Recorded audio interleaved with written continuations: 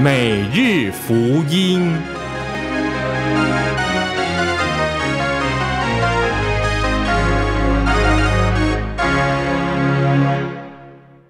大家好，欢迎收听每日福音，我是伟伟。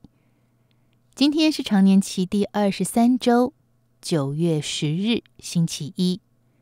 福音经文在路加福音第六章第六节。一个安息日，耶稣进了会堂，并教导人。在那里，有一个人的右手是枯萎的。经师和法利赛人便在一旁监视，看耶稣是否在安息日治病。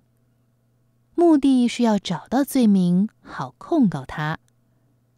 但耶稣知道他们的想法，便对那有一只枯手的人说：“你起来，站在中间。”那个人就起身站着。耶稣对他们说：“我问你们，在安息日合法的是行善或作恶，救命或害人呢？”耶稣环视四周所有的人之后，便对那个人说：“伸出你的手来。”那个人照样做，他的手就复原了。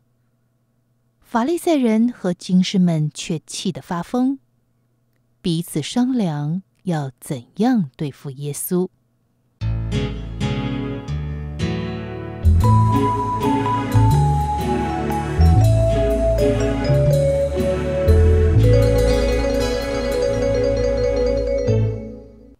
耶稣显神迹的关键行动就是伸出手来。圣安博曾进一步指出耶稣这些话的重要性。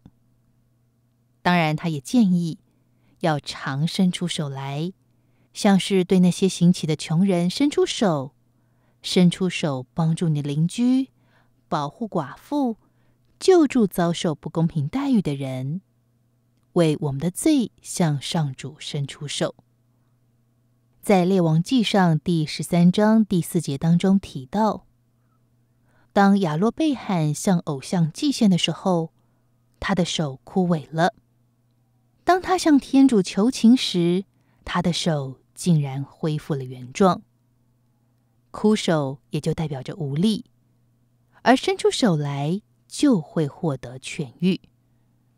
在今天福音当中，我们看到耶稣并没有死守法律，反而是冒险的站在弱势人群的那一边。